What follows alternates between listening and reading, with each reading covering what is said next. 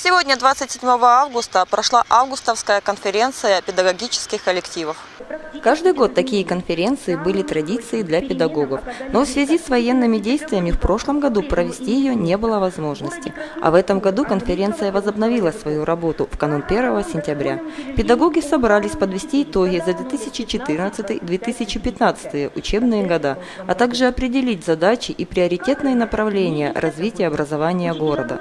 На конференции присутствовали глава администрации города Красный Луч Юрий Кондратенко, заместитель главы Наталья Рогачева, начальник управления образования Светлана Маяцкая, заместитель начальника управления образования Татьяна Бурковцова, заведующая методическим центром Наталья Токарева, педагоги и ветераны педагогического труда.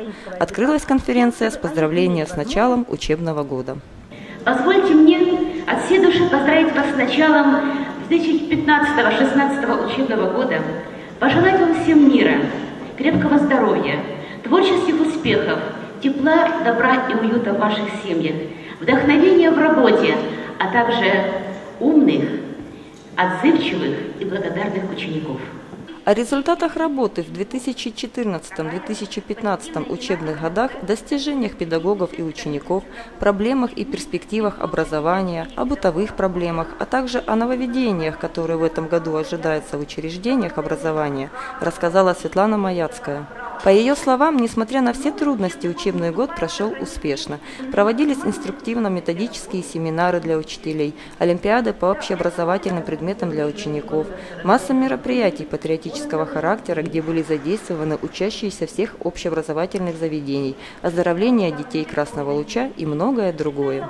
Педагоги определили главные задания на учебный год – повышение качества образования и обеспечение к нему равного доступа, повышение качественной подготовки педагогических кадров, социальная поддержка учителей. Акцентировали внимание на закон о системе патриотического воспитания детей.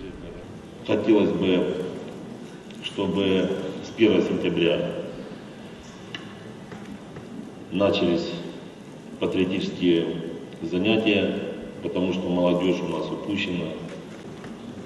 Хотелось бы, чтобы молодежь была воспитана, поэтому все возлаживается на, на вас, поднять это все, воспитание и все остальное. Поэтому я думаю, что вместе мы все сделаем, и будет все хорошо. Со сцены прозвучали слова благодарности Российской Федерации, правительству Луганской Народной Республики, главе администрации и всем тем, кто не оставил и помог в трудное время.